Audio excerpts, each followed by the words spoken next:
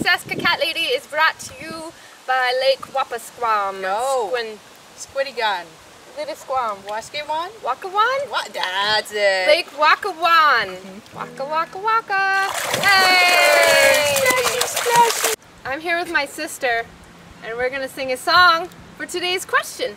And today's question comes from Scheherazade and she wants to know the best way to take care of her mats. Her cat's mats. Cat matted fur. Not her bath mat.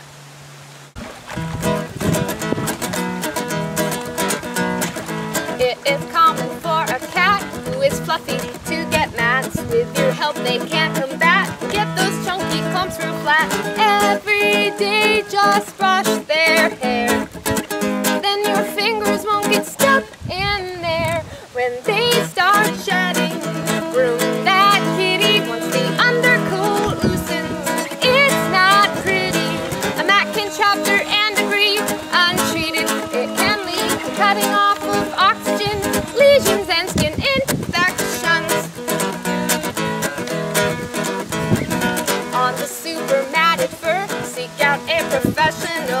Smaller mats can be worked with powdered cornstarch or use clippers. It's safer on their skin.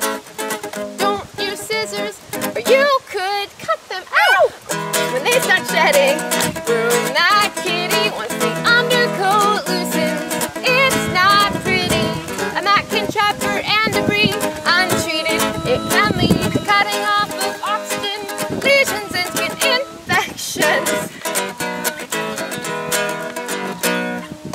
like a child, it's hard to bend their will.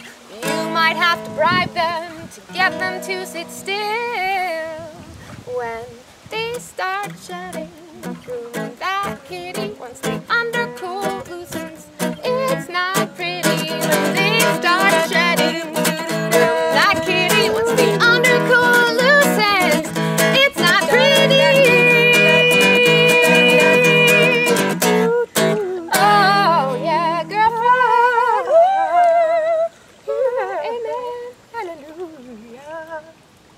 You have mats? No.